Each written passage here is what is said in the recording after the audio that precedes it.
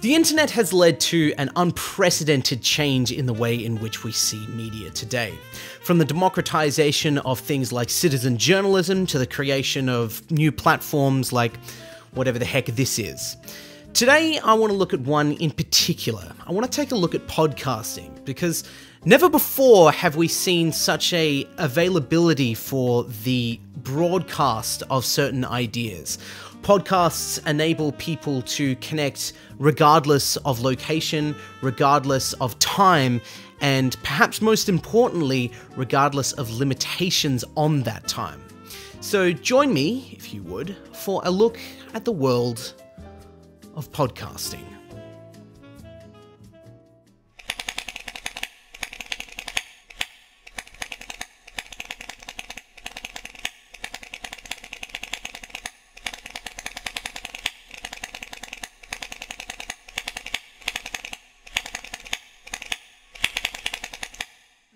If- if you can really read, you can read way faster than you can listen. Mm-hmm. So reading is more effective, except that, and this is what's cool about podcasts and, and what's what's game changing about them, I would say, is we can't read while you're driving. Yeah.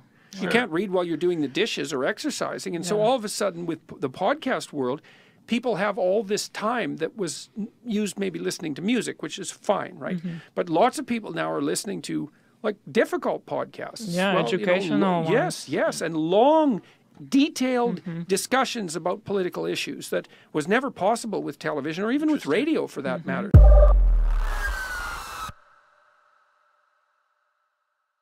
Podcasting is a natural evolution of the public broadcasts that were first pioneered in 1910 by Lee DeForest.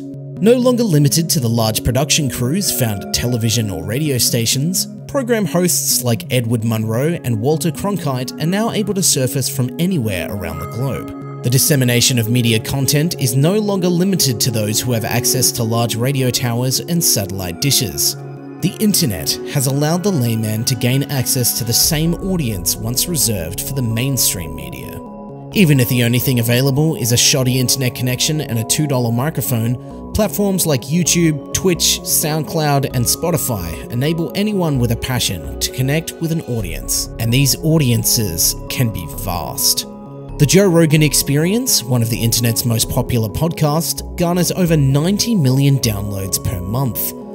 American Belarusian entrepreneur Gary Vaynerchuk spoke with Joe Rogan in 2017 about the incredible power afforded to those who can learn to utilize the internet as a means to reach new audiences.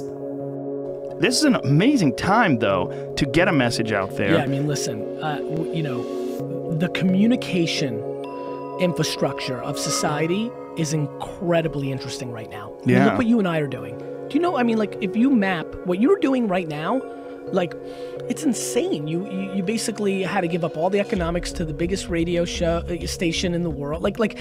Everybody can reach so many people, and of course, everybody's gonna head's gonna go to what's going on in politics and what's Yeah, going I on. Agree. It's true. I mean, it, the the most powerful thing about it is everyone has access to it now. There's nothing keeping anyone from starting an Instagram page and just putting up little videos every day of how they feel and how they think.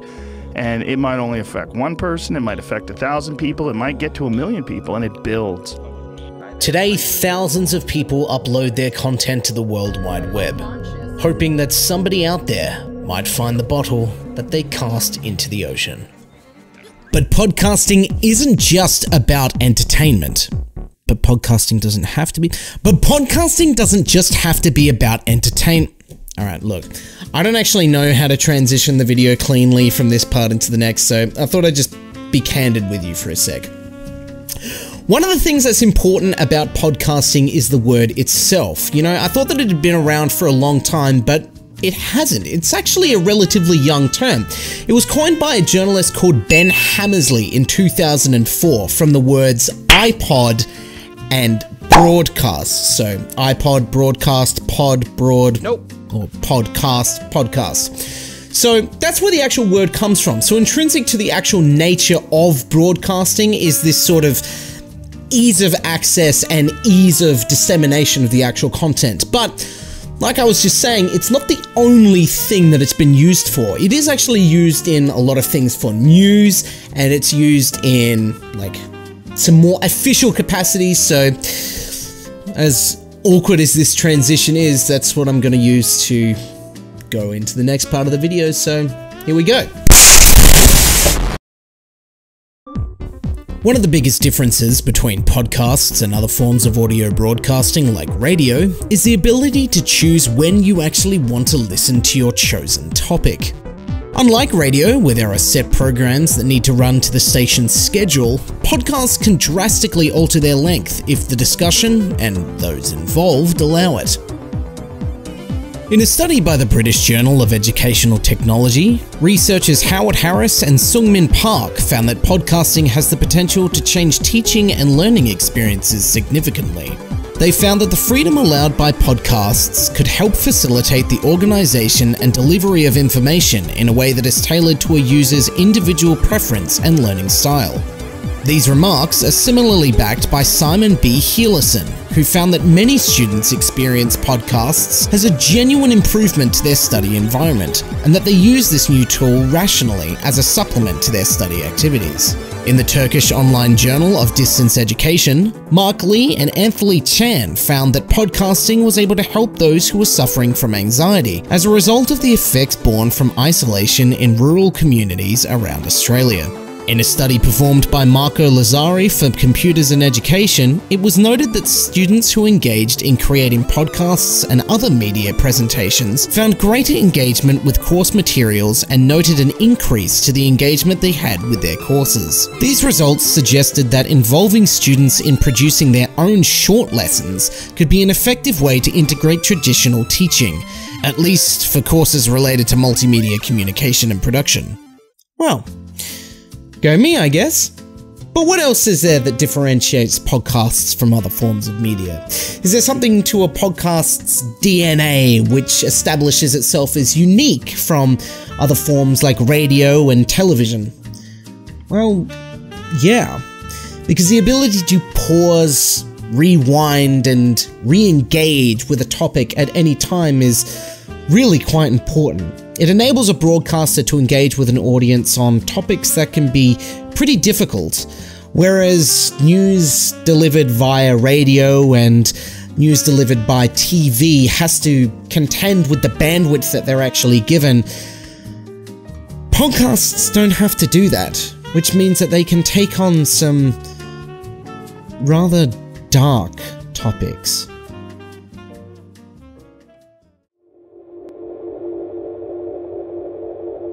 Jason, can you tell us what sort of weapons were stolen from your home? Yeah, so I had uh, all four of my guns stolen. I had a 30-06 pump action rifle.